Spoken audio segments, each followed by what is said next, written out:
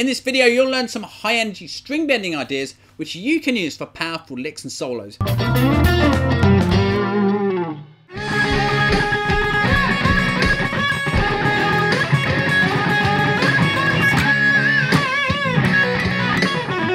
Hey there, this is James for James Shipway Guitar, and thanks for tuning in to another one of my video guitar lessons.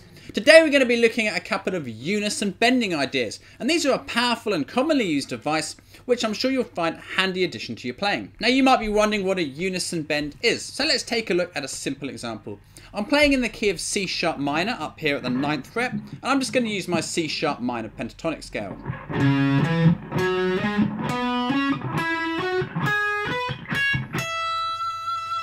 I'm going to grab the G string at the 11th fret, I'm going to bend it up two frets. Then I'm going to kill it off and I'm going to play the B string at the ninth fret with my first finger.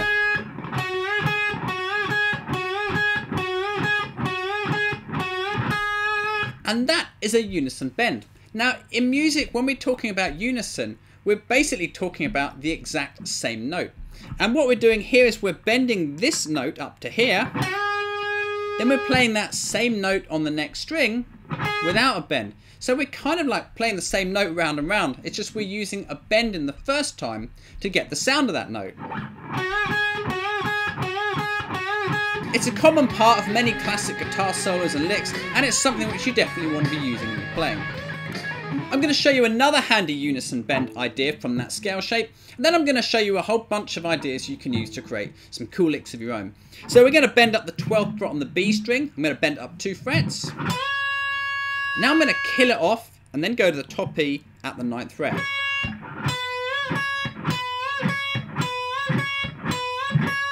Let's talk about this killing off thing I'm, i keep mentioning because this is really important. And what it is, it's using our right hand here to silence the bend before we move to the next note. So we don't get this. Or it's a really important little technique. So my right hand just kills it off before I move to the ninth fret note there.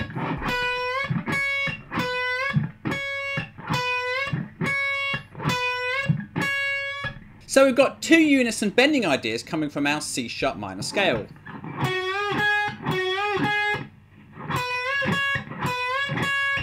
Obviously you want to make sure you're bending the note up enough so it's in tune. We don't want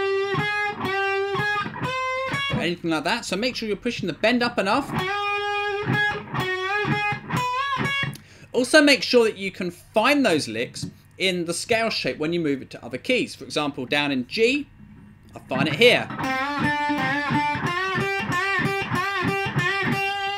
Will mean you can use these ideas in all sorts of different songs and musical settings. Hope you're enjoying the lesson. Stay tuned to find out how to supercharge your guitar playing with a free VIP pass to my exclusive members only area. Now the cool thing is that it's really easy to make up some of your own licks using these unison bending ideas. So let me show you a few examples to get you started. I'm going to take the G and B string unison bend here. I'm going to bend the G string up two frets. Then I'm going to play the B string note twice and I'm going to play it in a triplet rhythm like this. One and a two.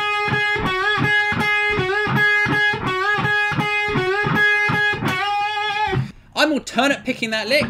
Down, up, down, up, down, up, down, up, down, up, down, up. And that works for me, but if you find a way you prefer, then you might want to use that way. It sounds good kind of looped around like a sort of repeating lick. Create some excitement and momentum in your solo.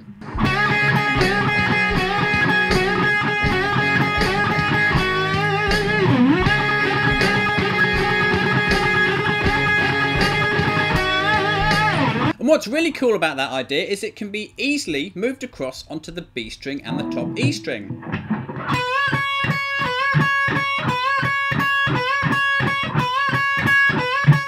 So you kind of get two licks for the price of one.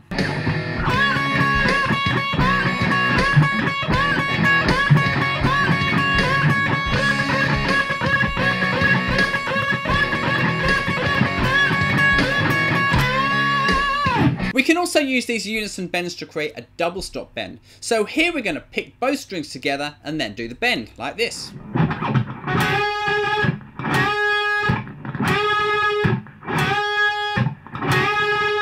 Try and keep this first finger note still. If it goes up with the bend, you'll get this. It won't sound very nice, so you need to think about anchoring that finger so it doesn't move up and follow the bending finger. This can also be transferred easily to the next two strings.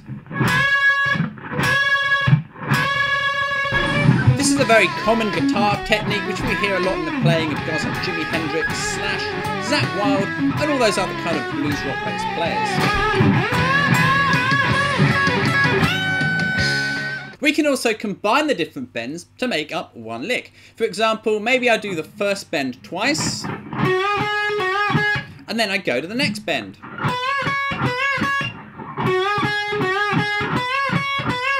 Turn it picking that down, up, down, up, all the way.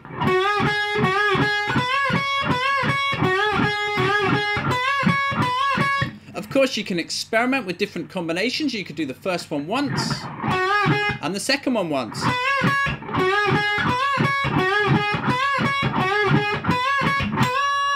And any other ideas that you discover as you experiment.